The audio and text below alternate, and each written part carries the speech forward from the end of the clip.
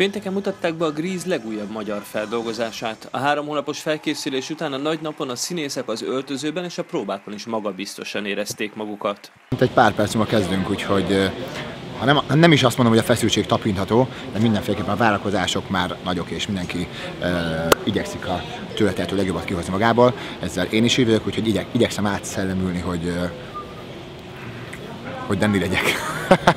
Szevasztok! Ferenc az evést választja, én jó magam igazából én nem tudom, téblábolok még, aztán majd lassan jön a, a smink, haj, öltözés. A koreográfiáért felelős Bakó Gábor szerint a rock and roll mozdulatainak beillesztése volt a legérdekesebb feladat. A rock and roll, a lábak, a rongyláb, tehát ez a rongyláb, ami, ami igazából pont ez a legizgalmasabb, hogy a rongylábra, benne is van az egyik szám címe a rongyláb, amikor rázzák a lábukat, a csípőjüket, és a twist, amit úgy belecsempésztem. Most egy pillanatra ugorjunk előre az előadás végére, hiszen csak akkor volt lehetőségünk Csabával és Görgényi Fruzsinával a színpad bejárására. Itt a zserébillám. Ez a legmenőbb tud, ez a bocsi. Így, kell, így lehet csak beszállni.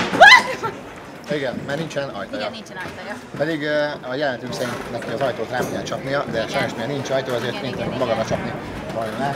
Itt a burger hangárnak is, uh, hát, Hát ez a romjai, romjai. Menjünk be a nagy Nagy ajtó. És akkor jöjjön az újabb időugrás, íme a darab néhány látványos jelenete.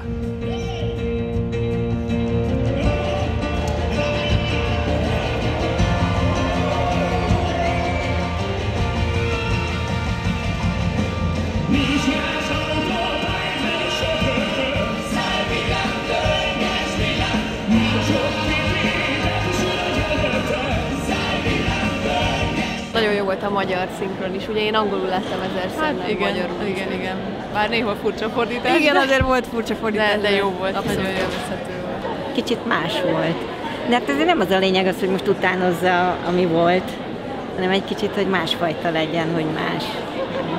Az előadás vége pazarul sikerült, tényleg örülhetnek a, a szereplők, a színészek, a rendezők. Nekem nagyon tetszett az az őrangyalos, amikor lejön a nagy pocakos fickó és magyaráz, hát én azon bepisítem. A közönségnek alapvetően tetszett a darab, bár az első felvonás közben Csabának néha gondjai akadtak a fejmikrofonnal.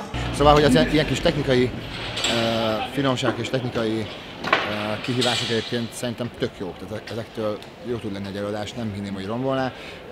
Az, hogy igen, ez az élő varázs. Kis Ramóna szerint a folytatás nagyon izgalmas lesz. A következő állomásunk november 7-én Veszprém lesz, ami nekem azért külön öröm, mert Veszprémi vagyok, nem különben Vastag Csabi és Vastag Tomi is, úgyhogy nagyon nagy öröm lesz a kis otthonunkban játszani.